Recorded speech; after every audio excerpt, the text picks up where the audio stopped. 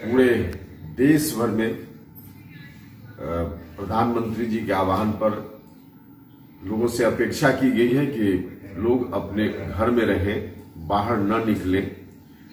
Corona virus का जो फैलाव है, उसको रोकने के लिए यह बहुत ही आवश्यक है।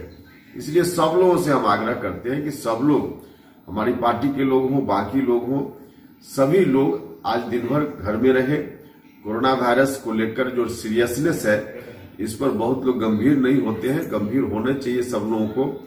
आज तो रहे ही दिन भर रात तक अपने घर में।